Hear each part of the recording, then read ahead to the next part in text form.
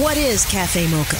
Cafe Mocha is experts, celebrities. What's up? This is Bell Biv DeVoe. Yours truly, Idris Elba. This is Fantasia. This is En Vogue. This is India Arie. So much more. All from a woman's perspective. What flavor are you, baby? This is Cafe Mocha. This week on the show, she helped Lil Nas X go from no name to fame. This is Cafe Mocha. Angelique, Loni Love, and Yo Yo. Netflix is finally pulling the trigger on those password sharing situations. Have have they caught you yet? Have they? I mean, like everybody in the family has my Netflix, my Hulu, my Peacock, my HBO Max. I'm just like, here, I'm paying for all of it for work. So share, share, share. I You know, just these wonder what's going to streaming services are doing a lot. I mean, you know, right now in Hollywood, having a writer's strike. Now, for those that don't understand, the writers' strike is is a union for the writers in Hollywood, and for years, um, they have been under an old contract. And the reason why this is a strike because their last contract they didn't we didn't have these streaming services. So what's happening is say like um, for example, you take a show like In Living Color. And In Living Color you know, it was a hit for uh, when it was on the network, and then it gets sold into syndication to another network. Now the problem is if now you sell it to some place like a Netflix or something like that, there's no way of checking because they have no contract with these streaming services.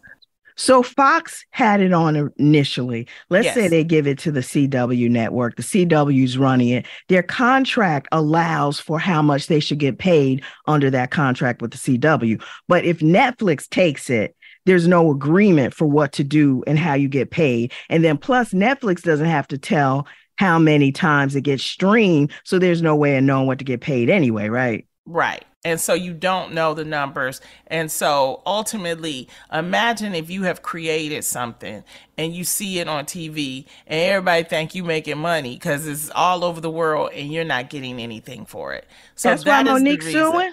Well, Mo'Nique is currently in the process of suing CBS Paramount because of the Parkers.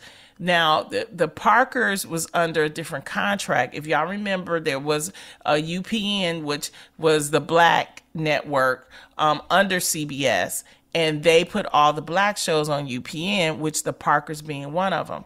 Well, uh, lo and behold, UPN is no longer here, but they sold it to other networks. But that contract was so bad. And I know that because I was under um, contracts and I would see, you know, like shows that I was on. I'm like, wow, you know, I like, I was on uh, episodes of Girlfriends. Um, there were other episodes that um, I was on, and you don't, you only get a little bit of money. Well, that's because that was a different type of contract. So the writers of the writers of um, of uh, the Parkers sued and won. And so Mo'Nique, as the talent, wants to sue because they are still showing it on different, you know, networks, and they're Right. not. She's not getting paid. And so, um, her, both her and Countess Vaughn supported her, stood with her um, in that in that lawsuit. So we'll see what happens with that, and we're going to see what happens with these writers and working with these streaming companies because now you have like say NBC and say you you write a show and it goes on NBC, you get paid for that. But now NBC has Peacock. You don't get paid for it Mm-hmm. You to be on Peacock. You lying. So th- yeah, you so this lying, is- right? No, There's not- nothing in the contract that says once it starts streaming on Peacock, because it was an old contract. That's what I'm saying. It was old. It was it- the contracts didn't have streaming services because by then we didn't have the technology. That's what they're doing to music as well. Yeah, exactly. Yeah. You know, with streaming services, everything has to change, and these companies are making buku millions of dollars. You know, um, and it was funny because um, Netflix tried to do this live thing for uh, the dating show Love Is Blind, and I think they thought, oh well, because we did the Chris Rock uh, stand-up special and it was live, we didn't have a hitch they tried to do that with Love is Blind. They spent all this money, um, you know, uh, advertising it. They had all these type of events for it and everything and turned around because there is, was a much larger audience for Love is Blind, they couldn't technically get it together, it's being reported. And so it ended up being a really like bad thing because like they couldn't get it up technically they had to tape it wait the next day and put it on air so with streaming services there's a lot that's still happening uh, people have to fight for their money and i'm all for fighting for the money because you know is you create a product you want to be paid for it that's so, right that's you know, right. That's my soapbox for today. On the way, they call her the hip hop whisperer. She's talking about taking your game to the next level. This is Cafe Mocha. Here's your dose of espresso. Strong, hot news now. This is Angelique with the Espresso. The TV writer's strike kicked off this week, and I promise you, the first shows that are going to get canceled are going to be the black ones, and they'll be replaced with ratchet reality TV. Anyway, the Tupac and Afeni Shakur documentary is the highest rated unscripted series ever for the FX network. I would say it's been like a test on my faith. You know what I'm saying? You know how I guess his name was Job in the mm-hmm. Bible, who God just did all of this crazy stuff to him just to make sure his faith was straight. And that's how it was. It made me if I didn't have all of this stuff, I don't think that my feet would have been so firm. If God ain't finished with yeah. me yet, let him check me. Dear Mama is currently on FX and streaming on Hulu. New to Apple Plus, rapper actor Common stars in the series Silo set in the future. In the silo, we've been stripped of history, so people don't know what happened in the past. So it's no racism, it's no sexism, but within that, it's this murder mystery that goes on in our first season. That's the espresso. It's Cafe Mocha. It's Cafe Mocha. They always used to say it takes about seven years to make an overnight celebrity. But thanks to TikTok, if your song goes viral, you could literally become an overnight sensation. But then what? How do you turn that viral moment into a career? We're taking you behind the music with an icon who worked artist development and a performance expert. She's worked with Janet, Diddy, Justin Timberlake. Welcome, KJ Rose, to Cafe Mocha. Hey, KJ. Uh, hey, ladies. Thank you so much for having me. Good it's to awesome. see you. Um, you know, what is you call yourself the hip hop whisperer? Um, and you have a book out called The Rose Effect The Eight Steps to Delivering the Performance of Your Life. First of all, uh, how did we come up with hip hop whisperer and what do you do? I say more often, um, or people have referred to me as the talent whisperer. Um, I think that, you know, a part of the journey has been in hip hop, but yeah, I think it's more talent whisper. And I think that's come about because I am an artist. We're all artists. Wherever you occupy space, that is your stage. And I speak the language of artists. Um, and at one point, I was a performance artist, and now I am a performance directing artist and helping people to access all of their potential. And and to go in and to see it in real time, artists like Lil Nas and Nas and 24kGoldn and Erica Campbell, I give them nothing that they don't already possess. My job is to irritate and agitate areas of potential that have merely been lying dormant.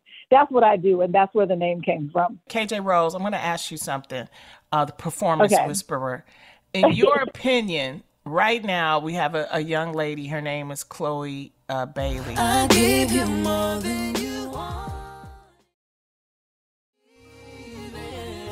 Just put out her first album. It didn't sell as well. Um, what could you do to help her and her performance if you if you were um, asked to? I would first, you know, part of my process is asking you what you think about yourself long before anybody else has an opinion.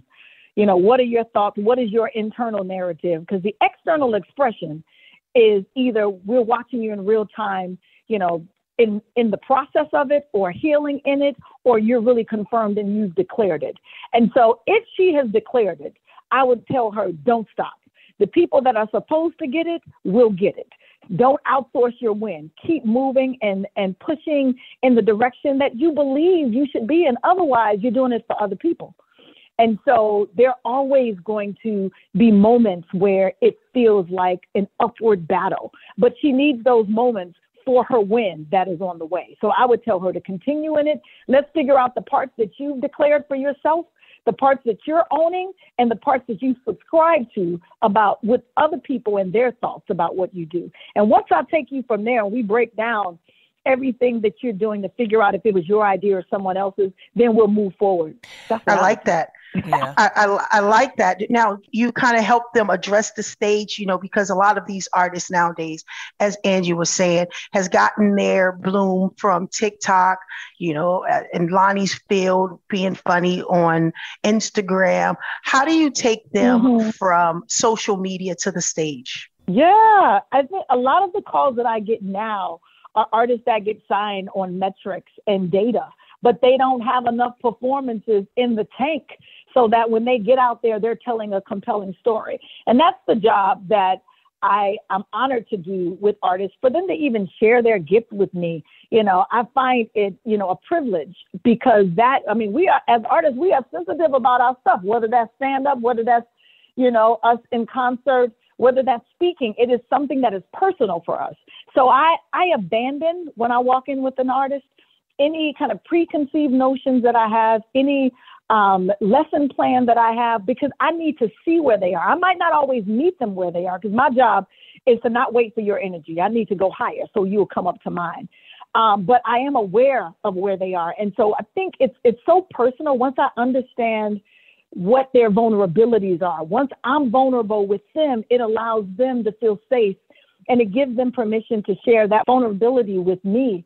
And it's really about storytelling. Like you can't tell a story in metrics all the time, but you can tell the story from heart to heart. So I get them from, you know, what's just routine, what is just about clicking of the button and, and getting the, the data from it. But what are you really saying? What do you care about? And have you pre approved yourself before you ask us to pre approve you? And so uh, it is that work that I dive into once they come to me um, so that when they are on stage, because that's really where the longevity lies. And Yo Yo, you know this in terms of touring. Like, if people believe that they're coming to get something that they can't get from just listening to you on, you know, the tracks that they, you know, can hit play on whatever app mm-hmm. that they have, if they know that they come in, and that's one of the things I did with Nas. I mean, he could have completely rested on his past laurels. Nas has been performing forever. Imagine smoking weed in the street without cops harassing. Imagine going to court with no trial. Lifestyle cruising blue Bahama waters. No welfare supporters. More conscious of the way we raise our daughters. Days are shorter, nights are colder. Feeling like life is over. These snakes strike like a cobra. The world's hot, my son got knocked. Evidently, it's elementary. They want us all gone eventually. Trooping out of state for a plate. Knowledge, if coke was cooked without the garbage, we'd all have the top dollars. Imagine everybody flashing, fashion, designer clothes, lacing your click up with diamond rolls. But when I went in, I said, Yo, you the only messenger we got. Your job is to give us a reason to get out of bed and to come and, and give us the bonus that exists in your stories. I was like, you the only storyteller. So you got to do it in such an explicit way that your story cannot be hijacked and you the only one that can tell it. And then we move past the metrics at that point. It's Cafe Mocha on the line. KJ Rose, performance coach, performance whisperer. Her new book is called The Rose Effect Eight Steps to Delivering the Performance of Your Life. Now, you said that you worked with Lil Nas X. Um, were you instrumental in him and that decision for the way that he uh, came out? I was instrumental in giving him the tools to figure out how he wanted to do it. Mm. Uh, but in terms of dictating how it happened, that was all on him. Um, I always tell artists, I don't give you anything that you don't already possess. Mm. You know, I just, I, I irritated, I agitated, you know, potential that's been lying dormant. So there was a vision that already existed that my my job, my assignment was just to unlock it for him. And so, you know, we started when he got signed. If he got signed on a Wednesday, we were together by Friday. You know, and his the next week we were doing, you know, Stagecoach with Billy Ray Cyrus. And then the following week, we were doing Old Town Road. So, yeah, I'm gonna take my horse to the Old Town Road. I'm gonna ride till I can't no more. I'm gonna take my horse to the Old Town Road. I'm gonna ride till I can't no more. I got the horses in the back, horse stock is attached. Head is matted black, got the bushes black to match. He got thrown in very quickly. And I think just having that support, you know, of someone saying, hey, let me figure out you know, let's just talk about the strengths you already have. Like, you've not been on stage yet, but let's build to that. What do you want to say? I was like, what is Old Town Road about? When does the road end? And he was like, it never ends. It's about limited possibilities. Mm. And when he mm. said that, I knew we had a lot to work with and we could, you know, truly move forward because it's not about how I would do it. It's giving him the tools to access exactly how he needs to do it and wants to do it. You, you know, sound like a therapist almost. That's what it sounds like. And it's a hit and it's Amen. working. I'm gonna get this hey, book, The Rose you. Effect. I mean, eight steps to delivering the performance of your life. Can you talk about a, a, couple of the performances that you you talk about in your book, The Rose Effect? Yeah. So the book is really like stories, anecdotal stories of me in the music industry um, and just life. Um, there's one chapter called From Shame to Significance. And I talk about how I wrote this song called The Rose Effect. And it was really therapeutic. It was for me to push past a, a bad relationship and, and the emotions that come with it. And then I would go out on the road and sing it and, and people would really respond well to it but it always transported me back to that place. As i was trying to get out of that place it would always take me back. Um, and so then i just kind of like did away with it. And then nine years later i met a young woman that said do you have any music that we can put in a project i'm working on? And at the time i was like nah i ain't got nothing you know. I'm working on something new. Let me send you something new. And the girl i was with my friend was like, "But you got a whole album." I was like, "Yeah, but you know, I've grown. I'm I'm in a new place." And they were basically like, "Well, we ain't got time for your evolution or your new place. Can you just send us something now?" And I was like, "Uh." And so I sent them a better way. And weeks later, it was the song that ended up on Queen Sugar, uh, in a very kind of like pivotal moment uh, when Aunt Vi was sharing with her man that she was sick um, Hollywood. And so in the book it is a storytelling element to it, but then there are, you know, the the lessons that I learned. So in that I realized that our job is not to figure out where something will land or what the end result will be, but our job is truly just to complete the task. And I think that in that moment, I had no idea, you know, how much reach that that song would have. Uh, and then also in the book, there's an actionable piece because I'm like, a lot of times we discount things because we don't know how people are going to perceive it. We discount it based on time. We discount it because we just, nobody else validated it. So we just like dismiss it. But I ask every reader to write down three things that they've left incomplete, whether it is an idea or a book or play, whatever it is. Like, Write down three and then choose one to complete. So that's how each chapter is set up. And then at the end of it, I give you seeds of wisdom. Um, and a few of those are don't outsource, don't outsource your win, pre-approve yourself. Don't wait to access the energy in the room. Bring your own. And knowing, entering every room, knowing that you are the solution and you are the yes. But my favorite is God does not call the qualified, He qualifies the called. First oh. Corinthians 1, 27 through 29. Uh, and that is the Rose effect. How can we keep in touch with you, uh, KJ Rose? Yes, you can keep in touch via IG, which is KJ Rose Effect, which is also my Twitter. I am on LinkedIn. Anybody got business? Uh, Kiana KJ Rose Henson, uh, and that's the same for Facebook. And my website, kjrose.com. Um, I've created power chants as well, and these chants are bite sized musical jolts of motivation whenever you are entering into a new situation, a new opportunity where you need to remind yourself of your dopeness.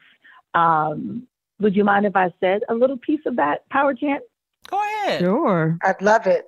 I'll send it to you so you can actually have the the entire thing. But imagine, boom, boom, boom. This is like a black man, boom, boom, boom. So I went to FAMU, so this is the marching 100, right? Okay. And so I go, you are the yes you've been waiting for. Uh, uh. Don't you ever forget what you came here for. Uh, uh, uh. And no matter what, you just make it count. Uh, uh. Take up space with your gift. That's what it's about. You are the yes you've been waiting for.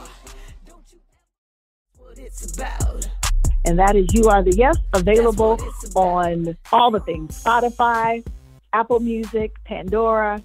And whenever you, this 30 seconds, whenever you just need it. to be reminded if you are, go get it. Right.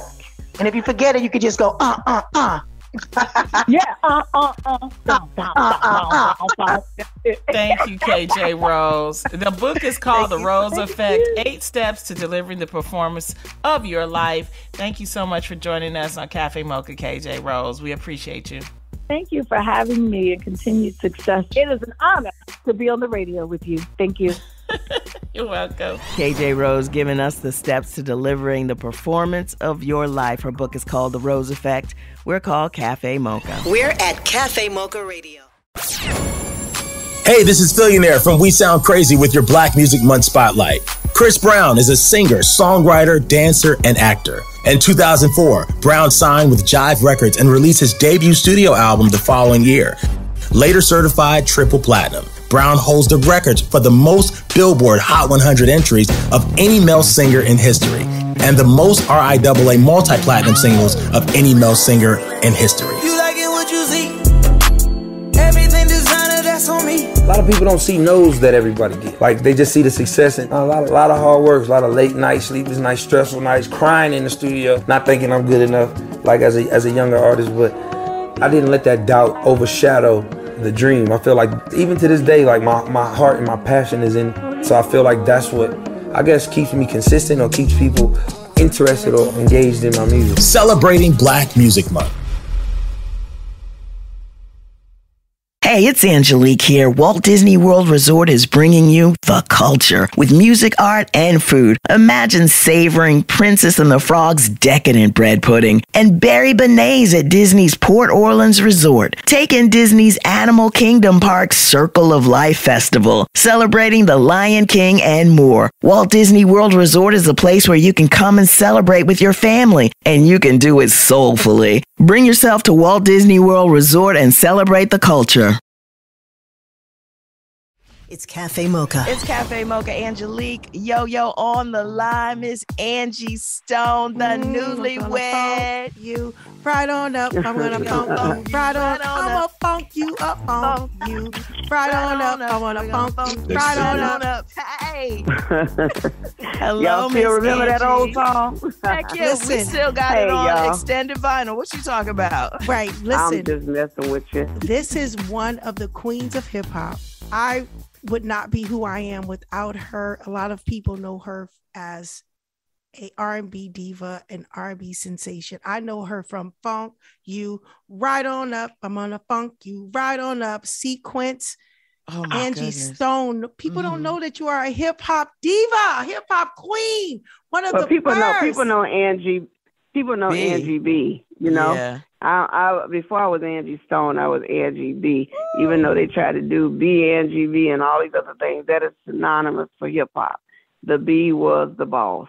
So at the end of the day, we had we had fun back in the day, and it was you know it was a legendary time for us all. I'm, I was just doing an interview for Showtime and just telling people, letting everybody know that we all are so important to the history of hip hop. Every last one of us uh, that participated in this uh, iconic move um, in the history today. So I'm just grateful that God chose me to be a part of that. and I I'm thankful to thank you, Yo Yo. And uh, you're welcome, sweetheart. And I want to say thank you because without you, uh, Monie Love, Queen Latifah, um, you know, MC Lyte, Salt-N-Pepa, without all of the queens of hip hop, we would not still have the legacy that we have as females. Uh, shout out to Miss Lauryn Hill, who took the sequence brand of rapping and singing on to the next level. And I'm just overwhelmed. I'm just overwhelmed that we we were, you know, a small part of that. Um, I- that, Big part, history I making would- time. yeah, A I big would part. argue. I, I would, would argue, argue with that the, too, yes. Yeah, A big part. A big part. big you're the first. You're the first Yes. female rapper that any of us ever heard that I ever. Well, you know, heard. you, you know, I know, but you know, and I'm I can say this to Yo Yo because Yo Yo, we go all the way back, sweetheart. And the, the, the thing uh, that is crazy for me is we're from I'm from South Carolina, Yo-Yo's from California, and we've all had to taste the slice of New York and yes. New Jersey. Um, feeling like that is the home of hip hop, which we know they have a lot of a culture there, and we take our hats off to it because they took everything to the next level. But you know, when God created this thing, He created it unanimously across the world, and we were just quite uh, a few of the ones that He chose to be a part of that whole army of hip hop. And I'm just so grateful that, especially you, uh, remember that we did have a couple of things that we did contribute, and I'm just grateful that you guys remember because for 45 years and we have kind of been overlooked a lot. Yeah, and um, the girls, my partners are Blondie and Cheryl. Mm-hmm. Uh, over 40 years, I've been heartbroken, and I think it's mm-hmm. because we never take uh, flowers away from our sisters because at the end of the day, we are all part of the same tree, and we have to remember that at all times. We're talking so, to Angie Stone. It's Cafe Mocha. Go ahead, Yo Yo. And it's so it's so dope that you say that, Angie, because it really it really matters, and we really don't know. Like when you start in it, you are just trying to get done. You're just trying to be heard. Yeah. You just want to be seen. And you really don't know how to Who's the first? You don't know. And, and, you, and, it doesn't even matter who's the first. What you what it matters doesn't. is the history. It's the history. what you've contributed. It, it, mm-hmm. the, the, history matters. and when you go back and you learn your history and you want to thank you understand who has lined it up for us. Like I can't be great without you. I always mention your name, and I didn't I love you realize. thank you. I didn't even realize it was you when I first started. I didn't realize. I know, and, and I and I have to. I know. You know why I have to tell people all the time. You know, people say, "Well, did you forget your girls? Why'd you get out here?" Let me tell you something. When I became an R&B star, I was already 30 years old. And I was told by Clive Davis and my team at Arista, do not mention, I had a gag order about mentioning hip hop because it didn't want to age me. I was blessed enough to still look young. And so as a result, they did not want the hip hop era to age me because at that point I started in 79 and if I wanted a career as a singer, then I had to be quiet, keep my mouth shut, and do what I was told. Yes. Uh, of course, as I became as I became more and more famous, I began to do hip hop on my live shows, and people then knew, oh wait a minute, this is right. the same girl that did Funk right. You Up. So it was it was it was pretty much shut up and do your job. And for me, being a single young mother uh, trying to survive in an industry that was male dominated, I had to do as I was told. But it never meant that I forgot my humble beginnings. I remember asking Sylvia Robinson, can I rap and sing? Because I knew that one day I would grow up and I wanted to sing. So my singing, God said, your gift will make room for you. And I was able to come back and address hip hop from the right angle. So when Missy came and when all these people came that had the ability to sing, I was so grateful. I remember Queen Latifah, you know, loving Angie Stone or Angie B. I remember her saying, please, Angie, come help me. And I was there to encourage her to let her know, hey, you're a dope singer. You don't have to hide behind just being a rapper. And I was there as a support system. I didn't care who was first or second or third. I just wanted to be there to make sure that we all stayed on top.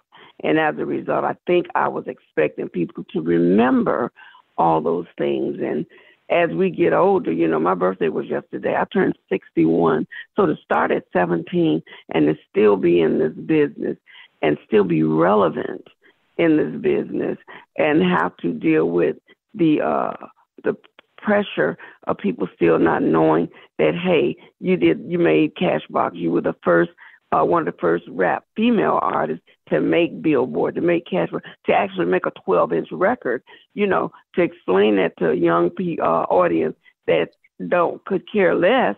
It, it, it's hard, but it, you know, it hurts me because as women, yeah. I expect for all of us to have each other's back. and I, that's why I just, I commend you, Yo Yo, because the Pearl and Blondie, who are yes, very much like me, is very, is very heartbreaking for them to, you know, I went on to become a, a, a successful singer. Well, for people that that's all that they have under their belt, they want to be able to smell their roses while they're to be alive. acknowledged. Yes. Yes. Mm, so Well, my what- my head is off to you, Miss Yelly, and all of the people that never forget that we did do uh, a little something to make a, difference. Thank you. A big something in. Okay. Thank you. What do you think of today's female rappers? Because I think, you know, for a time, Mhm, there mhm. wasn't a lot going on with female rappers. It felt like there were only a couple of sprinkles here and there. Now it feels like not only are they there, but they're number one on the chart and everybody knows them. And they're hosting Saturday Night Yeah. Live and like stuff is happening for real. Politicking. Yeah, I, I, my head is off to all of the females that are doing their thing, and uh, unlike uh, Yo Yo, myself, and and the crew from back in the day, uh, we didn't have to use uh, things to to lure you in. It was the fun of it all. It was the lyrics. It was the challenging, you know, the friendly competition. All the things that kind of kept us, you know, kept the juices rolling. I am a little disappointed that you know we have to that sex sells so much that we have to use the prowess of of our sex appeal to say, hey, oh wow, look at me. You know what I mean? It's not about look at me. It's like listen to me. Say something that means something that makes a difference, so that people, you know, like when when Lil Kim spits or when when Queen Latifah them spit, you know, they're talking They're talking a lot of mess, but guess what? They can back it up. And my thing is, these girls now is just like if you ain't got the uh the booty shots or the breast shots and everything else that goes along with the language, then you're not, you're irrelevant. It bothers me that you know one day that too will play out, and then what? You, your craft have to be able to carry you. Cafe Mocha, we're talking to Angie Stone. Uh, Angie, I of course we always want to talk to you about the history of hip hop, but we invited you to congratulate you on your wedding and turning I sixty know. So tell us about yes, yes. this, I just, this wedding. just got married. I got married on November the 12th. Thank you, sweetheart. Listen, I've been so busy working and grinding that's that I forgot about living and loving. And uh, when I decided that, okay, I'm going to do this, I ran into someone I went to grammar school with, elementary, uh, middle school, and high school. And we knew right away, hey, how have you been? I've been finding I'm blessed to marry a man that was from my hometown. Um, uh, his name is Benjamin Wirtz, and I have to tell you, he is such a gentleman. He said God uh, allowed him to wait for his wife, and I have to tell you, I'm in a place I've never been before. You know, because I've been independent all my life, but I can tell you this: I am having the time of my life. It's like things God gave me a second chance. I'm about to drop a new record. Um, I just signed a new deal, got a new husband, and a whole new, you know, regime. I got a new TV show that I'm working on that uh, I actually created called House of Play that I'm co-hosting with uh, Musiq Soulchild. So it's a lot of good things happening, and I'm pushing the narrative of my foundation, which is called Angel Stripes, where I really support and love on the senior citizens. So I'm What do you really in a what great do- space What do you do with that, Angie? With my with my senior citizens. Well, first uh, the first thing that I got with them is I took them out to vote. Vote back when Barack Obama was running. That was my first initiative to pull together a lot of the senior citizens. I got car services, and I went around to every senior citizen home I could find and took them to the polls to vote. Then I started giving them uh, uh, Thanksgiving meals and setting up family visits for a lot of the uh, senior citizens that don't have family. And because there used to be a thing years ago called Candy Stripes, I patterned my business at the Candy Stripes. And Angel Stripes is a bunch of young people who need to learn about compassion and loving on the elderly because we will get there one day. And what we do is we put together, I just did a big thing uh, right after my wedding uh, where we did a giveaway. I did a performance for them free. And then I just gave them all love and gifts. And it's what I do. Um, this summer, I plan on taking them out to the parks to play bingo, to the movies, and different things, and just sitting there making sure that they live, doing their hair, painting their nails, do whatever it's going to take for them to remember that we love you. And we love you, Angie.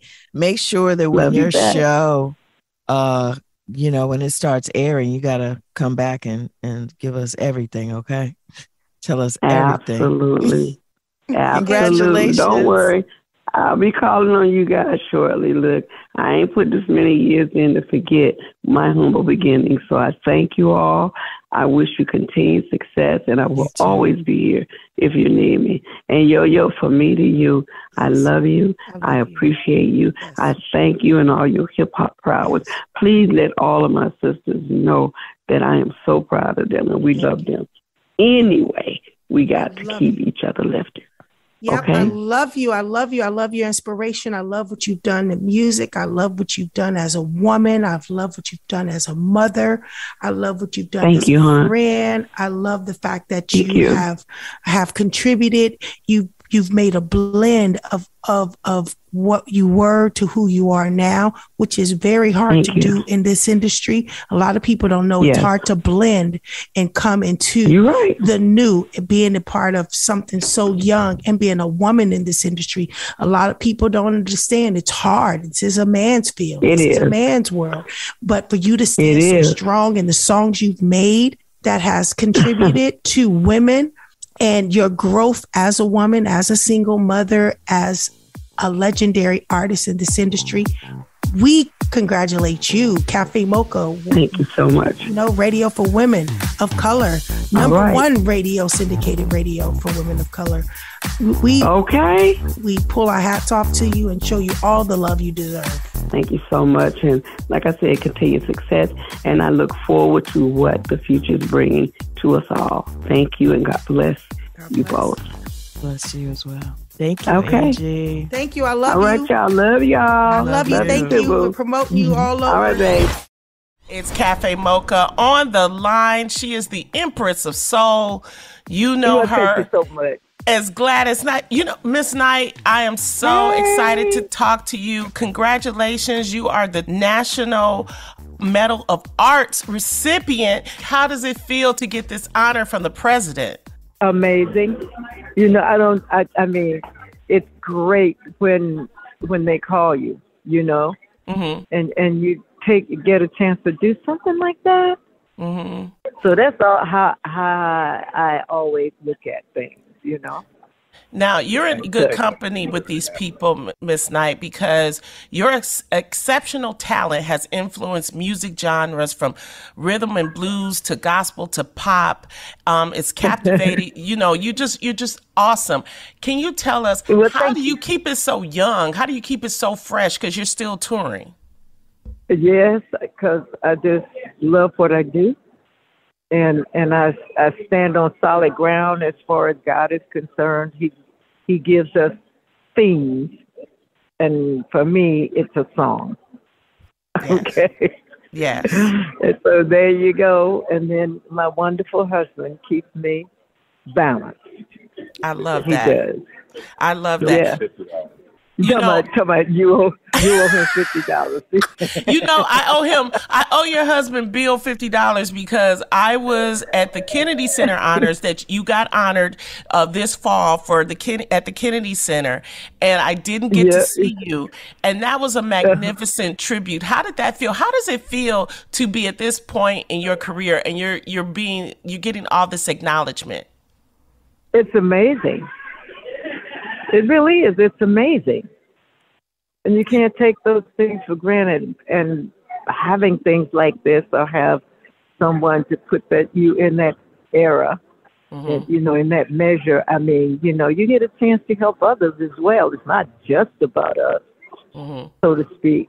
You know, and that's what what I like about it the most is the Well, fact that you can go up a little bit, but then, you know, you get a chance to grow and you get a chance to pass it on. Definitely. Well, congratulations, Miss Knight. I can't wait to come and see you. And you guys, if you want to go see Gladys Knight in concert, go to GladysKnight.com. I will see you soon. All And tell your husband I'll have that $50 waiting when I see you. Yeah, okay, I love you. He, he told me to tell you to get that fifty dollars waiting. My money Did you hear that? Did you hear that? Oh, I love it. I love it. Have a Did- good did day, Miss? Knight. it's Cafe yeah, Mocha. there you go. Take care of yourself. Bye bye. and stand tall. See what happens. I know. Love you. Love you too, babe. bye bye. That's the show. Until next time, if you want to subscribe to the podcast, just go to mochapodcastnetwork.com or wherever you listen to podcasts.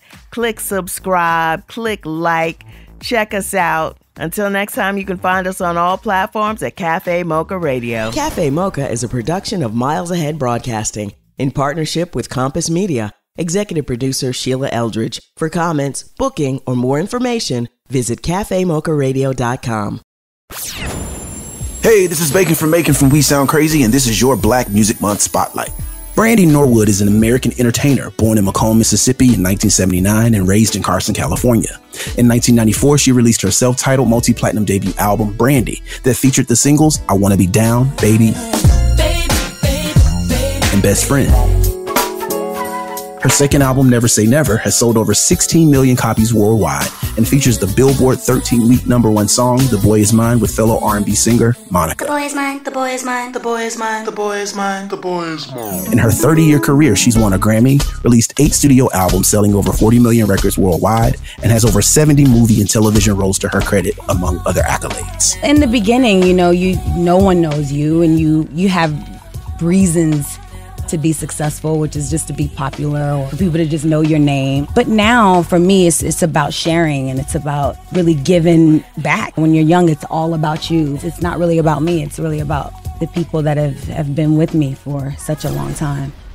Hey, it's Angelique here. Walt Disney World Resort is bringing you the culture with music, art, and food. Imagine savoring Princess and the Frog's decadent bread pudding and Berry Bearnaise at Disney's Port Orleans Resort. Take in Disney's Animal Kingdom Park's Circle of Life Festival, celebrating the Lion King and more. Walt Disney World Resort is a place where you can come and celebrate with your family, and you can do it soulfully. Bring yourself to Walt Disney World Resort and celebrate the culture.